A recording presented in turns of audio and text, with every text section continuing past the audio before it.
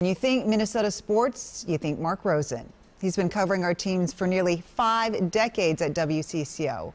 And tonight we are sad to say that Mark has decided to retire. Don't worry though, he'll be here through Final Four in April. And that gives us time to celebrate a legendary career.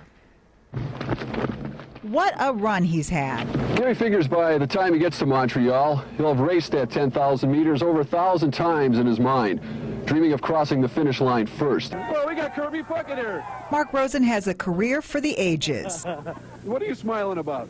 I know you're tired of talking to the media by now, aren't you? Oh, it's all right to come down here. I'll talk to you any day. You're all right. And welcome to Wembley Stadium for the first National Football League game ever played on British soil. Indeed, uh, this is one Bud Grant report we did not expect to have. We're here tonight because Bud called it quits after 27 years as head coach of the Winnipeg Bombers and the Minnesota Vikings. The guy with the best seat in the house has been in your house for nearly 50 years. And now, live from the Channel 4 studios, WCCO Television Sports presents Rosen Sports Sunday. It's time to play ball.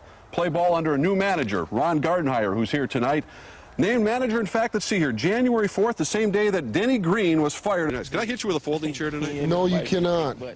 I know how to reverse that real quick. No, I don't think I'm going to try. I've always thought about that anyway. What are you going to do when you grow up, by the way? I don't know. I hopefully, Mark, I never will. Lindsay, let's start with you. How does the UNLV sound to you next week in Chapel Hill, North Carolina? Well, you know, we're just excited to, um, to be going. And now, what are your thoughts about what happened out there today? No comment.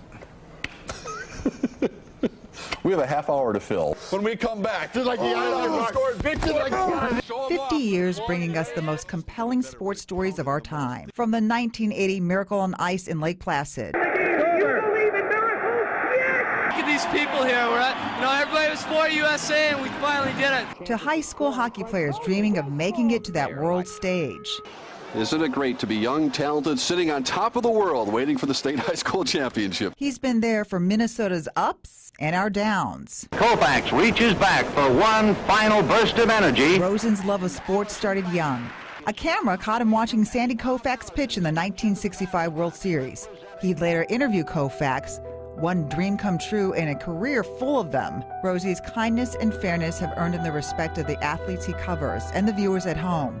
He's worked with broadcast legends like Dave Moore, Don Shelby, and R.J. Fritz, and along the way earned his place on the Mount Rushmore of WCCO. So grab your phone and share your well wishes. Use the hashtag Rosen on Twitter, and we will share some of them later on in the show. And Rosie, well, first of all, congratulations because it's quite an accomplishment. 50 years in any Not business. quite. Um, but you know, I do anything to get out of going to the state fair. I'm telling you, that is what we said. State fair, um, you name it. Look, it, it, all seems so surreal as I sit here with you because I'm not, I'm not going anywhere mm -hmm. for a mm-hmm. while. But uh, it, it is, it's numbing to think about. In my entire adult life, I've spent here at night and with uh, the greatest relationships that anyone could ask for. Again, it's not over, but no, it's um, not. We still have been, six more months. Well, I hope, I hope, uh, God willing, it'll be that long. But uh, uh, yeah, it's it's been such a spe spectacular run, and uh, it's all about the relationships uh, with people I obviously work with, but more importantly, everyone out there. It's it's been spectacular. Um, still going to be on the radio. Enjoy that, and but more importantly, just be in this community. It's been my home yes. since I was born. So. At uh, one station, though, in this business, 50 years. Well, I mean, it's just it's really so weird to see your whole life on tape. It's just such a and your different you know, hairstyles. absolutely, over the years. Does but, it uh, seem surreal, though? It yeah, it does. When we look at all those old clips, yeah, I mean, it seems like it was just yesterday when you were doing all that. I mean, and, and I think about uh, the people I've had a chance to, to run across and, and, interview and be a part of, and the community service stuff you get involved with. You know what it's. We all do know what it's like. It's very, very special. And uh, again, it's numbing sitting here tonight. Mm -hmm. um, thinking a lot about my wife tonight, Denise. You know, sure. and that's uh, that's the, the, driving force behind my life, and uh, that's what matters Absolutely. to me at this moment. Yeah. yeah. Well, we love you, and we're glad Thank that you. we have uh, some more months left with you. Yes. You know, to hang out and and bother me. Yeah.